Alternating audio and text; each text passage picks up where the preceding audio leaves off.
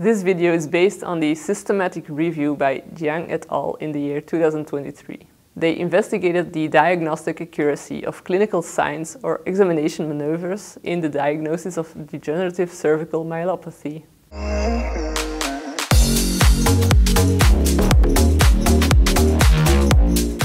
Download the free PhysioTutors app now and become the best clinician you can be. They included participants from 18 years on, but important to note is that these participants were all atraumatic, so spinal cord injury resulting from a trauma was not in the scope of this review. Degenerative cervical myelopathy is an overarching term to describe various degenerative conditions of the cervical spine that cause myelopathy.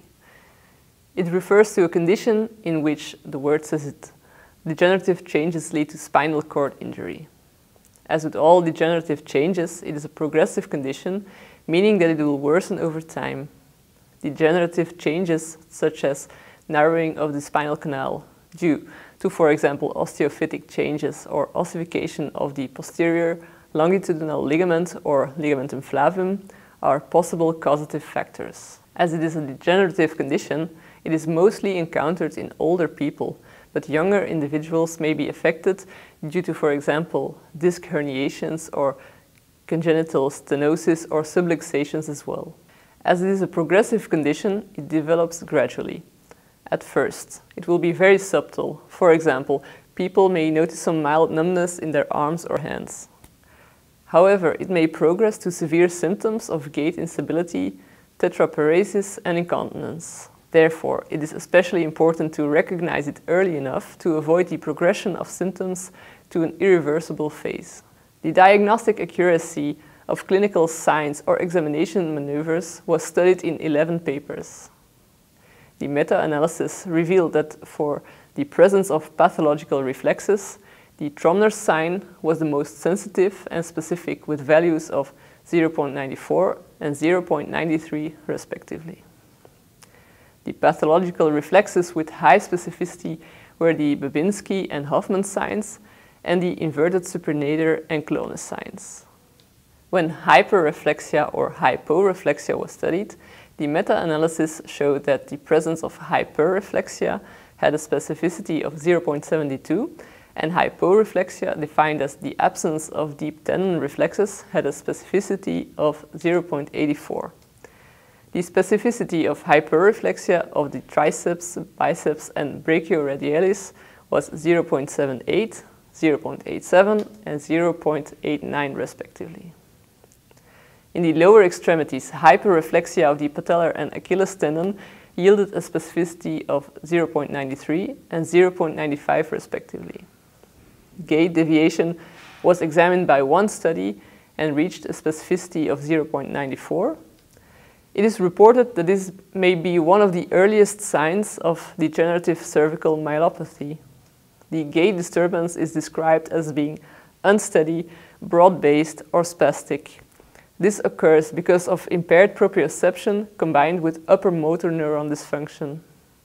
As a result, the gait velocity will be lowered, the stride length will be shortened, and the cadence will be slower. The step width will be broadened and the double support time will be increased.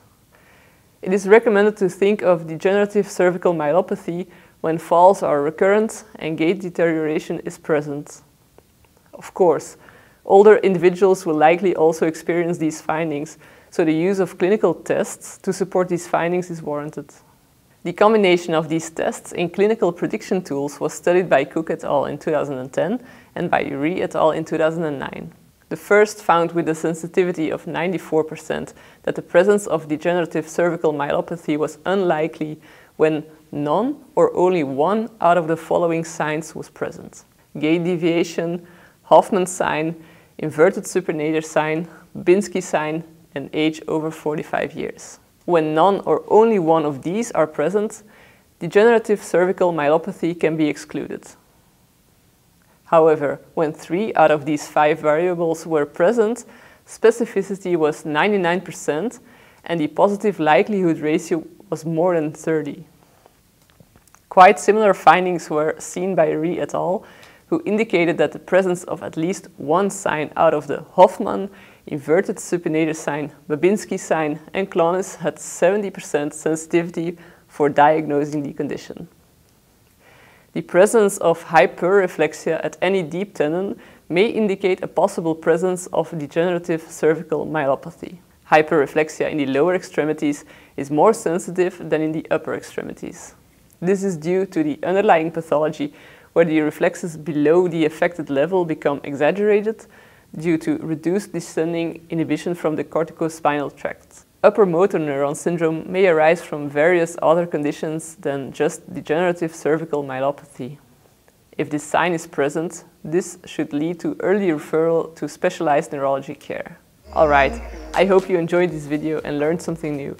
For a ton of more research-related content, I refer you to our PhysioTutors app. This was Ellen for PhysioTutors. See you in the next video. Bye.